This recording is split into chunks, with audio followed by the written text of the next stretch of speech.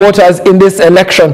Majority of the voters in this election come from the central region, which has 5.6 million of 18.1 million voters. The central region, for clear emphasis, is this region that you see in green at the moment.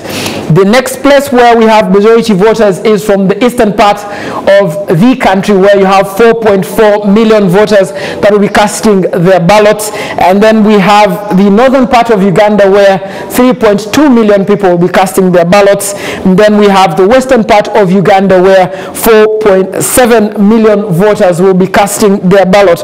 Again, like I said, a lot of people will look to us to understand what these mean.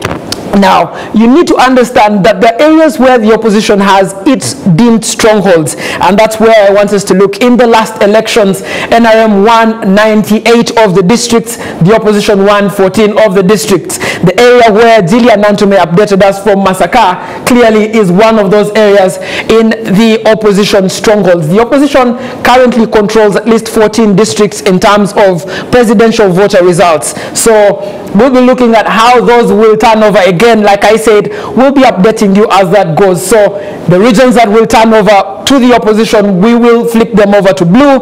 The regions that turn over to the NRM, we will flip them over to yellow. But let's also have another understanding of the data. One is how have voters previously voted before. So we start with the 1996 election. In the 1996 election, the small blue bar there represents the outcome of the opposition in that election. And of course, the opposition was represented by Ssemogerere then. They scored 1.4 million votes in that election. Yoweri Kaguta Museveni running in his first election. Then after the promulgation of the constitution scored 4.4 million votes. In 2001, the Besigye impact and factor showed up.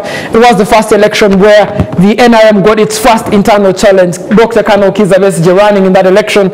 And he scored 2 million votes in that election against Yoweri Kaguta Museveni's 5 million votes. I'll skip over 2006 and go to 2011 just to make a quick analysis of the numbers and show you in 2011, of course, the voter turnout was really low, but Museveni managed to score 5.4 million of the votes, and Colonel Dr. Kizza Besigye still scored 2 million of those votes. Now, in the last election before this current one, the opposition made some really large margins, really large wins.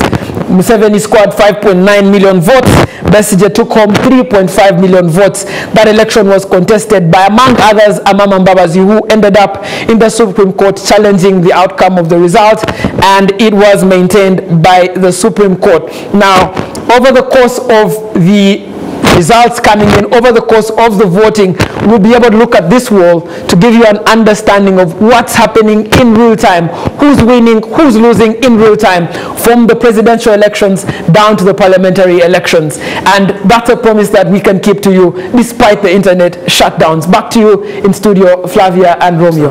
You stand.